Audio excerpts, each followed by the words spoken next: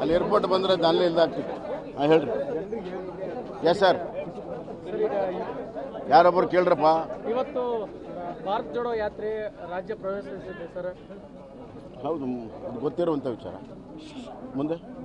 ಕಾಂಗ್ರೆಸ್ ಅಧ್ಯಕ್ಷ ಸ್ಥಾನಕ್ಕಾಗಿ ಸಾಕಷ್ಟು ಪೈಪೋಟಿ ಅವರಲ್ಲಿ ನಡೀತಾ ಇದೆ. ನೀನಾಗು ನೀನಾಗು ನಾನು ಹಾಕ್ತೀನಿ ನಾನು ಹಾಕ್ತೀನಿ ಅನ್ನೋಂಥ ಒಂದು ಮ್ಯೂಸಿಕಲ್ ಚೇರ್ ಥರದ ಒಂದು ಆಟ ಅಲ್ಲಿ ನಡೀತಾ ಇದೆ. ಇದರ ಬಗ್ಗೆ ಇಲ್ಲ ಅದು ಅವರ ಆಂತರಿಕ ವಿಚಾರ ಕಾಂಗ್ರೆಸ್ ಪಕ್ಷದ ಆಂತರಿಕ ವಿಚಾರ. ನಾನು ಅದ್ರ ಬಗ್ಗೆ ಏನು ವ್ಯಾಖ್ಯಾನ ಮಾಡೋಕ್ಕೆ ಹೋಗೋದಿಲ್ಲ. ಪ್ರಥಮ ಬಾರಿ ಅಲ್ಲಿ ಚುನಾವಣೆ ನಡೀತಾ ಇರೋದ್ರಿಂದ ಈ ಥರ ಆಗ್ತಿರಬಹುದು ಆದರೆ ನನ್ನ ಪರ್ಸ್ನಲ್ ಯಾವುದೂ ವ್ಯಾಖ್ಯಾನ ಇಲ್ಲ ಅದ್ರ ಬಗ್ಗೆ.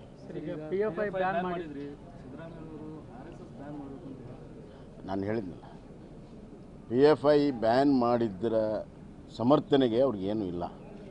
ಪಿ ಎಫ್ ಐ ಯಾಕೆ ಬ್ಯಾನ್ ಮಾಡಿದಿರಿ ಅಂತ ಕೇಳಕ್ಕೆ ಅವ್ರಿಗೆ ಯಾವುದೇ ರೀತಿಯ ಆಧಾರಗಳಿಲ್ಲ. ಯಾಕಂದರೆ ಅವರೇ ಹಿಂದೆ ಪಿ ಎಫ್ ಐ ಕೇಸ್ಗಳನ್ನೆಲ್ಲ ವಿಡ್ರಾ ಮಾಡಿದ್ರು.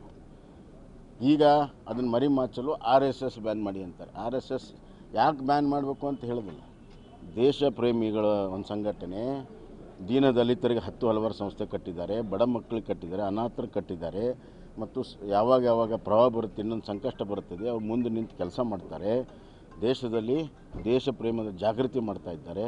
ಅಂಥ ಒಂದು ಸಂಘಟನೆ ಬ್ಯಾನ್ ಮಾಡುವಂಥ ಕೇಳುವಂಥದ್ದೇ ನಿಜವಾಗಲೂ ಕೂಡ ಒಂದು ರೀತಿಯಲ್ಲಿ ಬಹಳ ದೊಡ್ಡ ದುರ್ದೈವ ಈ ಮಟ್ಟಕ್ಕೆ ಸಿದ್ದರಾಮಯ್ಯ ಅವರು ಇಳಿಬಾರ್ದಾಗಿತ್ತು.